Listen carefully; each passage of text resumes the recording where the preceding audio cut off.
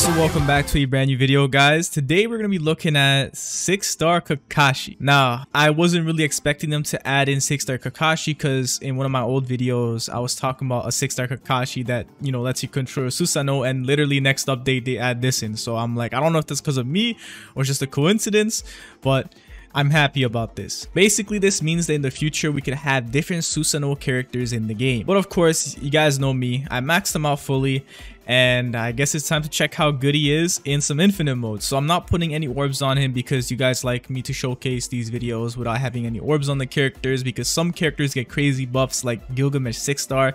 Literally his whole entire damage gets doubled with the fire orb so he's just super busted. But um i haven't really fully tried out kakashi so i really want to see how good he is. So let's enter some infinite mode. Finally it's about time i have enough for the kakashi.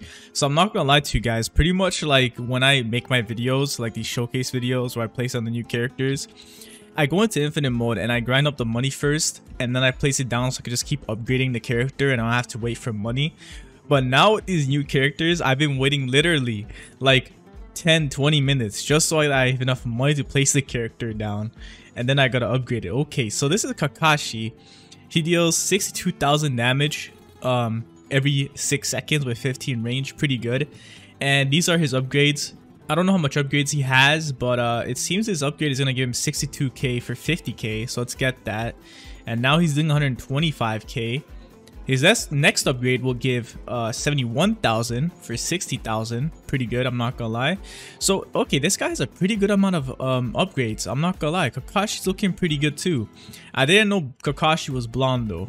But let me place down an Erwin real quick as well. Get the Erwin set up so that I could buff him after once I have uh, him fully maxed out because I am really curious on how much damage he has because I might make a video on Kakashi versus Gilgamesh, to be honest.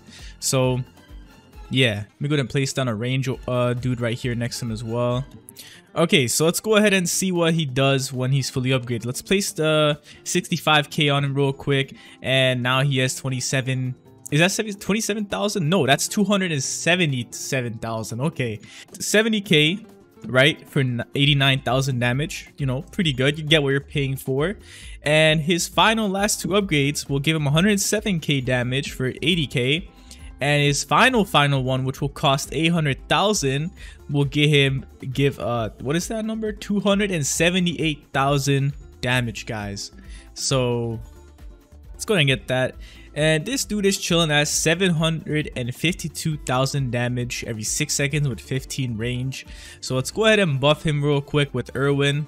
Let's check it out. And with Erwin buffs and Merlin buffs, he goes up to 20, what is that? 2 million and yeah, 2.2 million, 6 SPA and 20 range. Not bad, not bad. Okay, so let me go ahead and activate Susanoo real quick, guys. Here we go. The Susanoo comes out of the ground. There you go. And it's time to use this. Oh my god, looks so sick. Okay, so this is my first time using Kakashi. So I don't know how his attack looks like, but I'm really hyped for this. So let's see how this looks like. Where's the attack? Um, I'm attacking. I don't think I have my effects on. Hold on a minute. Hold on. This whole time I didn't have it. wow, this whole time I didn't have it on. My bad, guys. Okay, let's go ahead and attack something. Okay, yeah, the shurikens. I knew it. This is literally just like... Bro, where's... Bro, did my game just crash? Are you serious? Bruh. Alright, you guys. So I finally got enough to actually finally, you know, use this guy again, fully maxed out. So there it is. The Susanoo is back up. Let me go ahead and place down my Merlin as, uh, again and place down my Erwin as well because I also want to buff him and see how powerful he is with buffs. So just let me do that real quick. Now, hopefully this time I don't crash because while I was trying to record this video, guys, I got my Bulma up to like max three times before this this time. Three times I crashed on this game. And I was like, okay, you know what? Maybe God is telling me I should not record this game. And uh, I was like, you know what? I'm not going to give up. Here we are. So this is buffed Kakashi. He's doing 2 million and 258,000 damage. I mean, that's actually pretty good. For something that you could control and... Why did my game crash again, bro? Oh my goodness. Okay, hopefully I don't crash this time. So, we saw the damage on Kakashi. Kakashi is pretty OP. And yeah, he deals what? 2 million? Yeah, 2.2 million. It's amazing. Now let me go ahead and enter it. And like I was trying to say the very first time before I crashed, the attack is just like when I was talking about it, dude. But like you can't really like, um, you know, like say like, oh, I came up with the attack.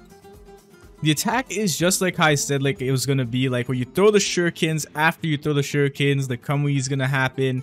It's literally perfect, guys. This is I knew this was gonna happen. I knew they were gonna add a Susanoo that you could control. I just can't wait for the other Susanoos, especially Sasuke's. I wonder how they're gonna make that. I wish they make some units kind of different. Like maybe some units we could get like a like a different controllable unit that's like stationary. And it's like kind of like a turret kind of deal where you aim at somewhere and it shoots over there. Like stuff like that.